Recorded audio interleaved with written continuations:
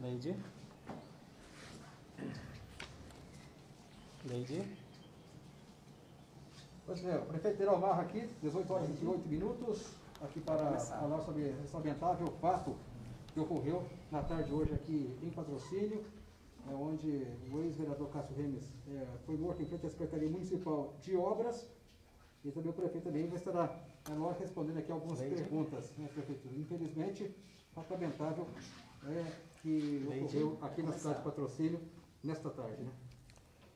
Bom, quero Começando. inicialmente aqui eh, dizer o seguinte, que nós estamos, eh, vamos dizer assim, de forma muito consternada com tudo que aconteceu, né, com o coração, com dor, né, com tristeza, com muito pesar que a gente percebe né, isso e nós lamentamos tudo o que aconteceu, essa sequência de fatos né, absolutamente, diria, injustificáveis, né, que culminaram aí com a morte do vereador Cássio Remes, eh, por disparos né, de arma de fogo, infelizmente aí pelas mãos do meu irmão Jorge Marra. Esperamos né, que todos esses fatos possam ser elucidados, possam ser de forma transparente apurados pela justiça, né? Nesse momento, as delegacias, né, Polícia Civil, Polícia Militar estão todos empenhados com a mais absoluta isenção, com a mais absoluta transparência eh, de tudo isso. Infelizmente, é um fato que choca a todos nós. Eh, posso dizer aqui de público que todas as minhas diferenças dos campos políticos sempre foram resolvidas né, no campo do debate, do debate da palavra, das discussões. Jamais né, tive qualquer atitude fora desse campo. Infelizmente, não conheço e não sei eh, de nenhum fato e de nenhuma ação que culminou nessa eh, tragédia, mas posso aqui de público externar eh, as minhas condolências né, à família né, do, do ex-vereador Cássio Remes, a todos os seus familiares, e em consideração ao posto que ele ocupou e em respeito a tudo isso, né, sua trajetória também, nós estamos decretando hoje, né, através do decreto de número 3.759, luta oficial no município de Patrocínio por três dias, né, é, em prestígio aí ao, ao falecimento do vereador que ocupou inclusive a presidência da Câmara. Nós esperamos do fundo do coração é, que Deus possa dar muita paz, muita tranquilidade para todas as nossas famílias, né? Em especial tanto a nossa quanto a família do ex-vereador, que possam ter é, tranquilidade para superarmos tudo isso e vamos deixar realmente como homem público que sou, né, homem tranquilo que sou, nas mãos né, de Deus, em primeiro lugar, nas mãos da justiça, para apurar todas as, as ações né, que culminaram com esta atitude. Prefeito, é, apesar um excelente governo que o senhor vem fazendo, eu acho que o senhor não está envolvido na questão, mas o senhor é um dos maiores administradores que a gente já teve. O senhor acha que, como prefeito, isso pode abalar a possível reeleição do senhor é, para continuidade do, do trabalho como prefeito? Não, muito pelo contrário, não acredito em momento algum nisso. É, quem conhece o Deiró, todos vocês da mídia sabem, né? É, eu tenho uma tranquilidade pessoal muito grande. Fui por várias vezes, né? Esse, o ex-vereador Cássio era meu adversário, era, vamos dizer assim, é, não era pouco as acusações, não, todas infundadas, né? Mas nós transformávamos tudo isso no debate político, que é um debate de trabalho, que é um debate realmente mostrando. É, e eu quero dizer que, muito pelo contrário, eu acho que é, eu, como irmão, e todos vocês sabem, o que eu posso pedir agora é muita tranquilidade para que a própria justiça, a própria polícia civil, militar, possa apurar né, todas as nuances desse fato, tudo que, que culminou né, isso. Né? Eu é, só posso dizer que eu, é uma tragédia, não tem e nunca terá a minha aprovação. Então, não acho que isso tem campo político nenhum para ser explorado. Em relação ao seu Jorge, há informações que ele teria cometido autoextermínio, você tem essa informação? O quê? Seu Jorge, ele teria cometido autoextermínio, procede essa informação? Eu não, eu não sei disso, eu não tenho contato com ele, eu despachei com ele aqui por volta de, não sei, uma e meia, duas horas, a gente despachou coisas da secretaria, isso para mim não procede, eu acho que isso é fake news, é mais uma, né? não, não tem nada disso. Acho que as consequências que culminaram essa discussão, essa briga, essa desavença, né, é, vai ser elucidada pela justiça, por todos. Eu quero aqui tranquilizar a população é, que nós, primeiro, não, todos vocês sabem que a gente não coaduna e nem participa nunca dessas atitudes. Né? E acho que isso vai ser no momento certo, esclarecido, a própria Polícia Civil vai estar investigando e o Judiciário vai estar apurando.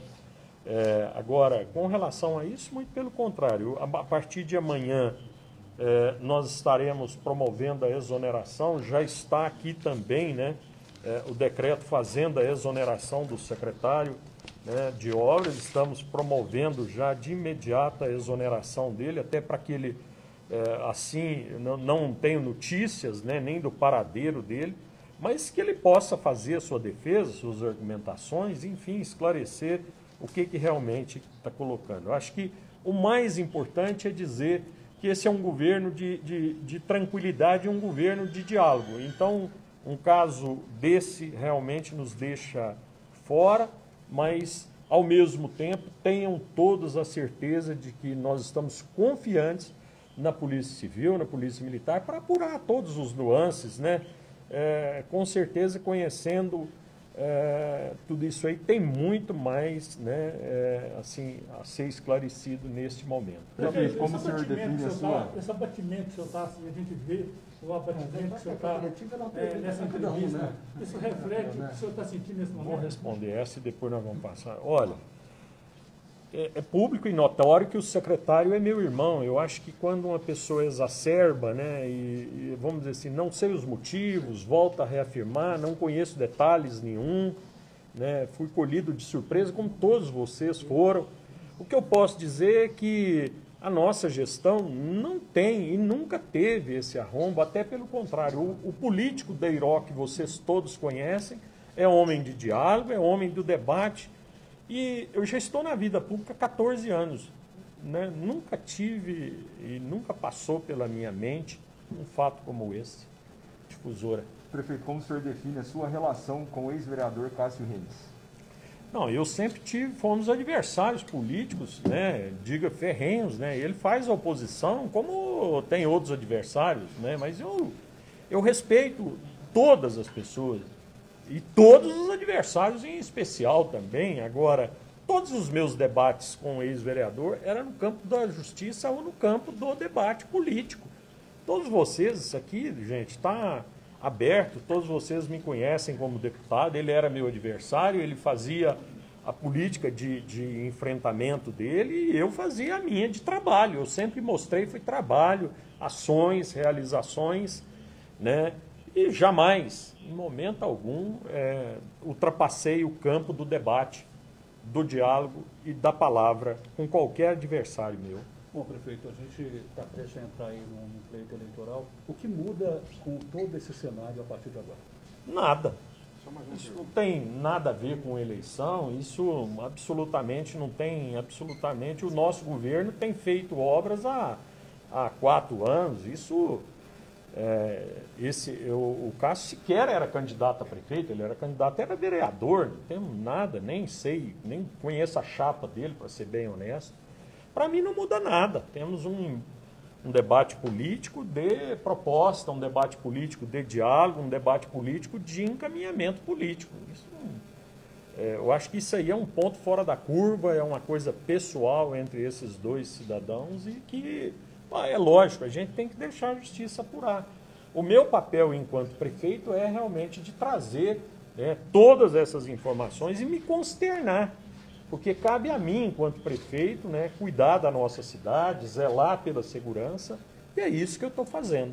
Prefeito, em um ano eleitoral, é, onde a, a campanha está sendo um pouco até reduzida, o senhor tem pretensão a ocupar mais uma vez o cargo do executivo municipal. Como fica isso agora? Você acha que prejudica na campanha eleitoral, nessa corrida eleitoral aí para o fim do ano? Não, muito pelo contrário. Acho que não tem uma ligação, uma coisa com a outra. Essa pergunta ela é, é pertinente, mas assim entendo que é um caso completamente separado, é um ponto fora da curva. A ação, é, vamos dizer assim, do secretário, que é meu irmão, com é, o ex-vereador Cássio Remes, foi um debate entre eles. Eu, eu tenho meu histórico político, eu tenho a minha história passada, 16 anos de vida pública, com trabalho, e diga-se passagem, né, com, com esses adversários que é, já me fizeram inúmeras e inúmeras outras acusações. Não era porque estou consertando passeio que eu mesmo, que a prefeitura mesmo danificou, né? Diga-se de passagem, né? O cerne da questão que é reformar os passeios, né? Que eu não, vamos, não sei se vai entrar no debate, mas esse, essa questão é uma questão trivial, é da administração, não tem senhor, nada a ver. Você acha que é, os próprios eleitores do senhor, que já votam no senhor, também podem ficar revoltados com toda a situação, tendo em vista que o, o, o suspeito de tudo isso é seu irmão? Olha, o, o nosso eleitor, como eu não estou preocupado aqui nesta linha, estou preocupado exatamente em dar a satisfação todas as pessoas de patrocínio. O Deiró, enquanto prefeito, enquanto ser humano e enquanto pessoa, jamais apoiaria uma atitude dessa. E quem me conhece sabe que isso nem passa pela minha cabeça e jamais passaria, como eu nunca agredi ninguém. Até na verdade, quem conhece sabe a minha história. Não existe uma pessoa nessa cidade que então, pode dizer. continuar a campanha normalmente. Firme. Isso aqui não tem nada a ver com a campanha, né? É um, foi uma tragédia. Eu me enluto com a família, né? Como decretei aqui o luto oficial. É, eu me enluto. Poderia e é um fato que fatalmente pode, pode acontecer com qualquer um, qualquer cidadão, né? Então não é isso, não tem nada a ver com o nosso projeto político. A última pergunta. O prefeito, é, desculpa estar insistindo na pergunta, mas pois pessoal, não, vamos é, lá. É, realmente preocupado em relação à questão do seu Jorge. Realmente você não tem nenhuma informação recente agora sobre ele, realmente, onde ele está, realmente se ele teria cometido esse fato.